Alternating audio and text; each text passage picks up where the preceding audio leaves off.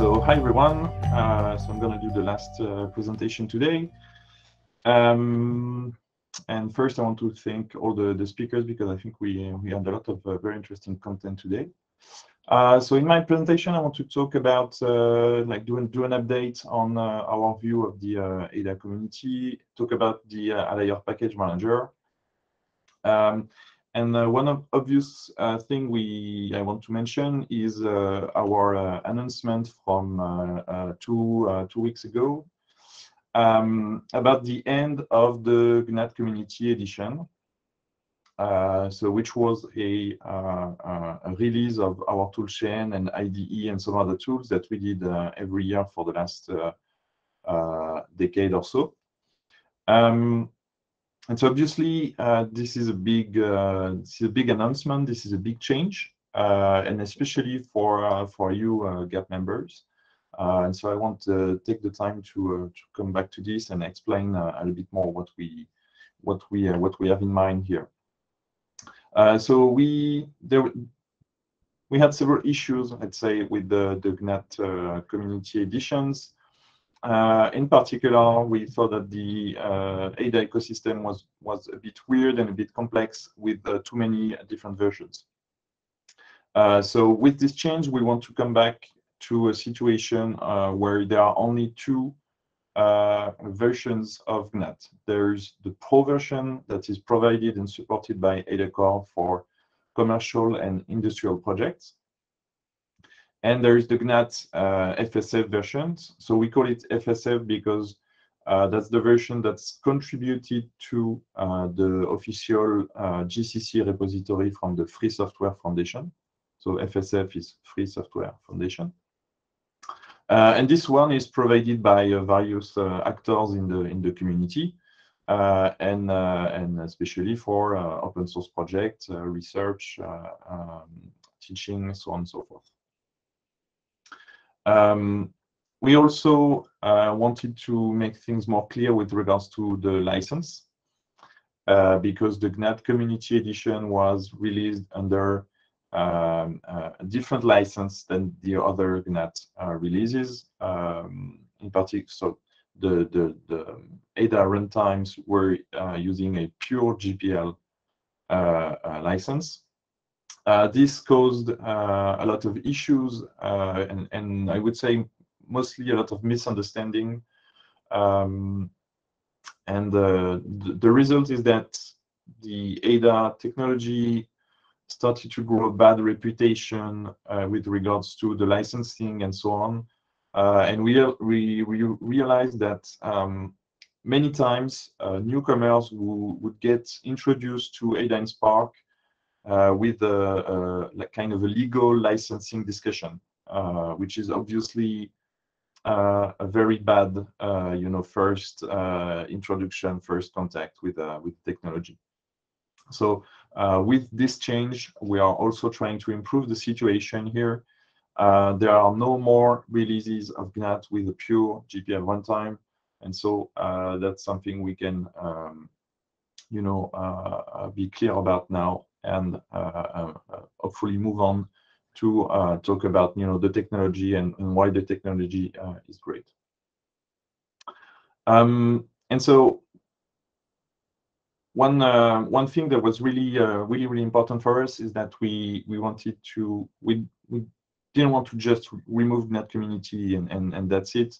Uh, we of course want everyone to still be able to do um, everything they did with GNAT community. Uh, this is not AdaCore, you know, uh, giving up on on uh, on community users and so on. Uh, in fact, it's probably quite the opposite. and so, uh, a few years ago, we found out about the uh, Alire package manager that was that is developed by Alejandro Mosteo, and we thought this would be a great tool to replace uh, uh, Uh, uh, GNAT community. And so now that Alire, we think, is, really uh, becoming uh, an important project, we think we can now, it's, the time where we can actually remove GNAT community and we encourage all GNAT community users to transition to Alire, and I will come back to that. Uh, and what's important for us is that everything you can do with GNAT community, uh, you can do with Alire. And actually, you can you can even do more more things. Um, if you want, so we have a we have a blog post announcing this change. If you want to to have uh, uh more information. Um, something important for us as well. Uh, we want to say that the the GNAT academic program uh, is uh, is one of the really key um, parts of our engagement with the with the community. That's something we want to to to really um, emphasize on. Uh, you still have access as GAP members to the AdaCore support through GNAT Tracker. Uh, and this is very important. And in particular, for the migration out of GNAT community, uh, don't hesitate to ask us questions uh, in the future. You also get uh, frequent updates on AdaCore technology through uh, newsletters. And we wanted to also to work on having more added value for the for the GAP for the GNAT academic program. And so there are two things that we are starting, uh, and uh, please ask uh, JC for more details on those. But we're starting a uh, new LinkedIn group that is private for the moment. Uh, we'll see if that stays uh, the same in the future. But the idea is to um, make a connection between GAP members and, and, and their students and our uh, AdaCore customers looking for talented engineers. Uh, this is a request we got from both sides. Uh, our customers are looking for for uh, new engineers.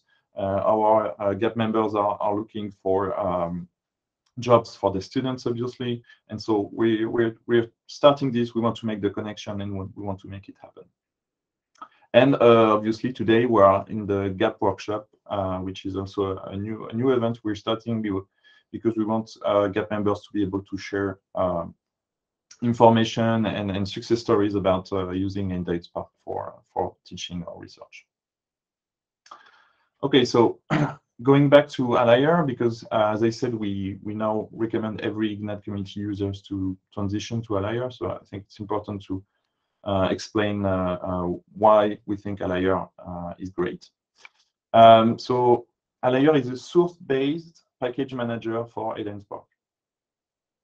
there are two main goals here. Uh, the first is to be able to easily build upon a person's source project shared by the community. So you can easily uh, uh, get and reuse uh, software that's provided by others. But you can also easily share your project for others to build upon. And that's that's the, the basic uh, concept of the of the source-based package manager. For us, it's really a game changer for the uh, Ada and Spark open source ecosystem uh, because we feel that uh, Ada never reached its full potential in the, in the open source domain. Uh, and with this tool, which is really a key uh, element in, in co collaboration, uh, we hope to increase that ecosystem and the engagement and the collaboration and so on. And so that's why uh, AdaCore is sponsoring and contributing to the uh, Alire project uh, since uh, a couple of years ago. Um, just an overview of what's, I, I, mean, not, not looking at all the details, but we have more than 250 projects which are called crates in the Alire vocabulary. and so this is just a snippet of the just an overview of the uh, Alire Galaxy, you can see that there are uh, uh, quite a few projects available and that I think that's what's really interesting here is the link between the different projects means people are collaborating, people are uh, uh, working with each other to, to build the ecosystem and I think that's, that's really interesting.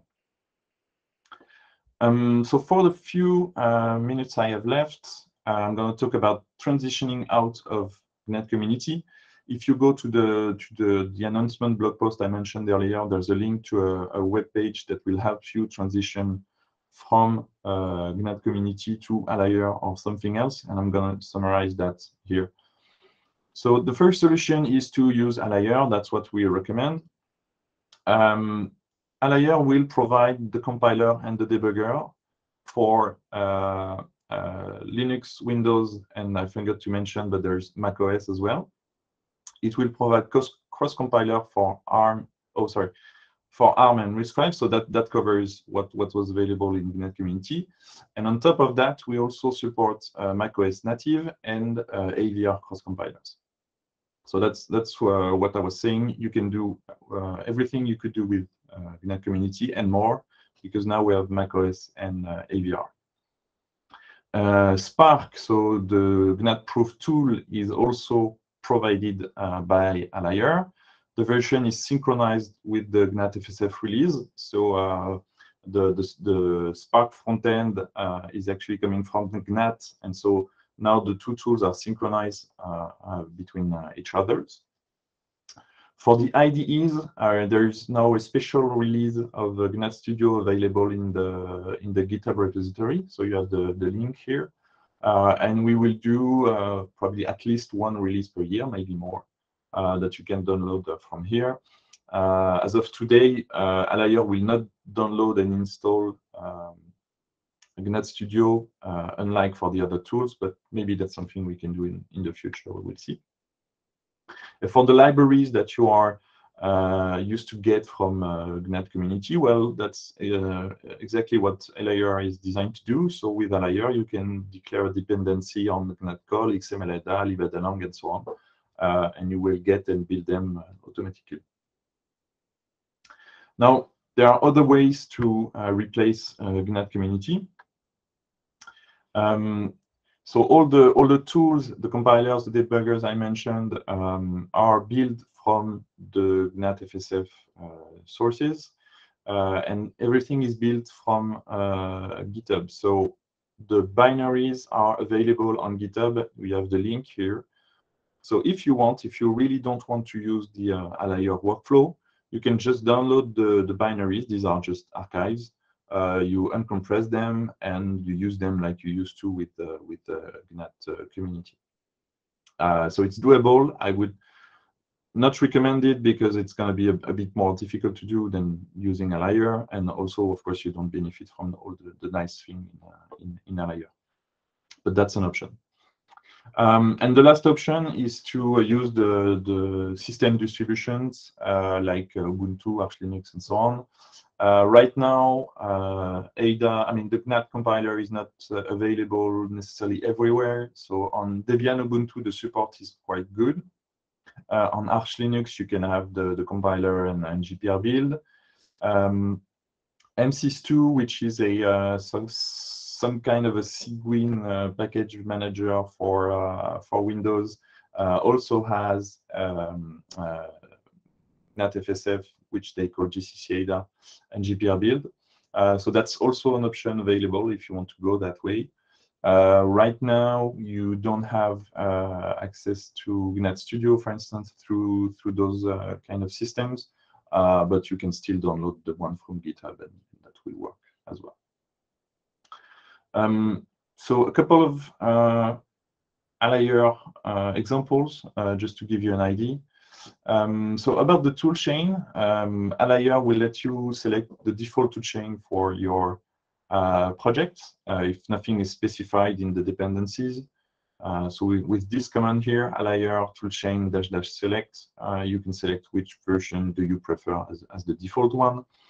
Uh, if you want to, uh, Alire provides a GNAT FSF toolchain, but you are not restricted to that toolchain. You can also use uh, the one uh, available in your system. That's the the third the, third choice here, uh, and so you're not locked into using what's provided by Alire.